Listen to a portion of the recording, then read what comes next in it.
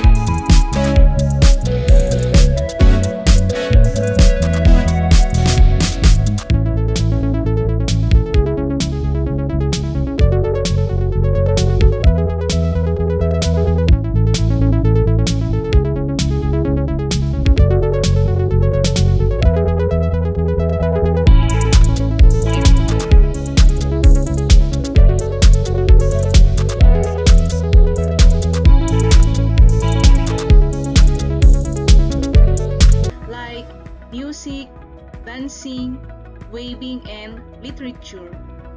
And now, we proceed to contemporary art. Contemporary art is the art of the present, which continuously in the process and in flux. When we say contemporary art, is the art of today, produced by the artists who are living in the 21st century. Many contemporary artists explore personal or cultural identity. Example of artists living today is Miss Xyza Cruz Bacani of Nueva Vizcaya.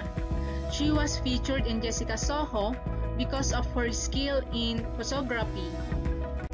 Today, modern art referred to as traditional compared to contemporary art is the art of the present Many of Filipino artists and architects become adherents of modern style. The modern art form evolved into a variety of expression. The Filipino artworks during the modern art was neoclassic.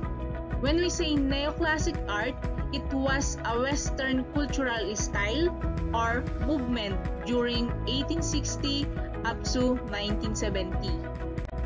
Fernando Amorsolo is one of the modern artists and also national artist in the Philippines. He made a lot of paintings based on real life.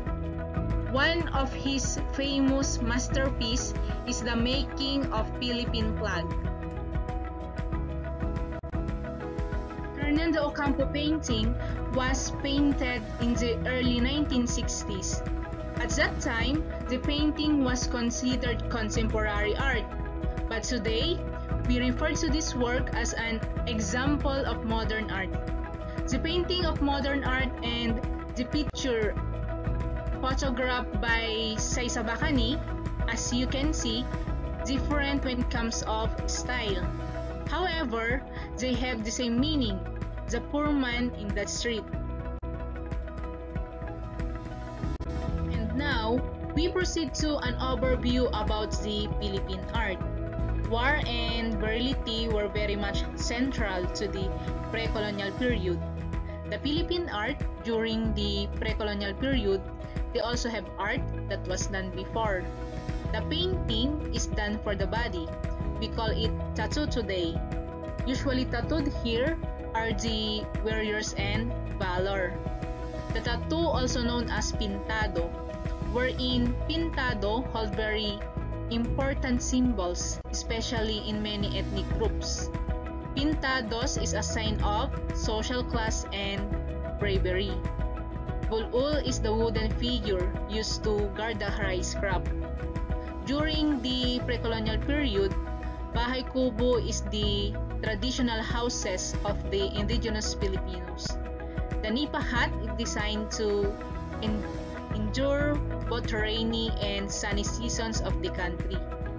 It was simple and made out of native materials like nipa, bamboo, and coconut leaves. During the Spanish period, the art form are classified under the religious art. Folk art, saint, and interpretation are essential into worship. Like most of their contribution in our country are churches. San Vicente Ferrer of Dupax, the oldest church in Nueva Vizcaya, is one of the example. The Spaniard design, most of the scale are Western modern or European style. Did you know that the University of Santo Tomas is the oldest university in the Philippines, one of the Spanish architectural in the Philippines. Another Hispanic architectural bank is the Bank of the Philippine Island, the first bank in the Philippines.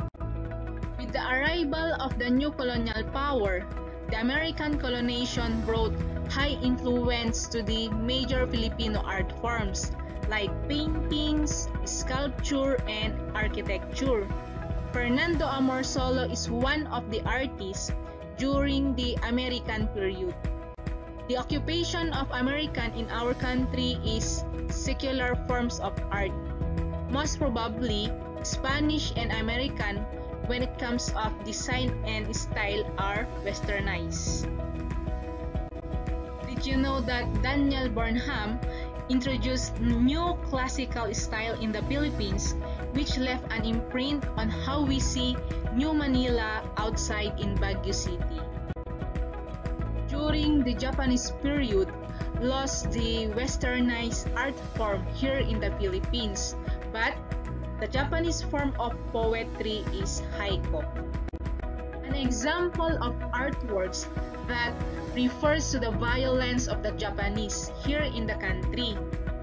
Atrocities in Paco, painted by Diosdado Lorenzo, depicts a common scene in the Malate or Ermita district, which suffered greatly toward the end of the war, when the Japanese did their worst as they sensed their impending defeat. Family was made by Dominador Castañeda. It was painted in the year 1945. This was the time of Japanese invasion in the Philippines. This painting conveys the idea of what Japanese did to the Filipino family, and many people have died during their time. Always remember that to study and appreciate the contemporary is to experience and understand art as a window to Philippine contemporary life.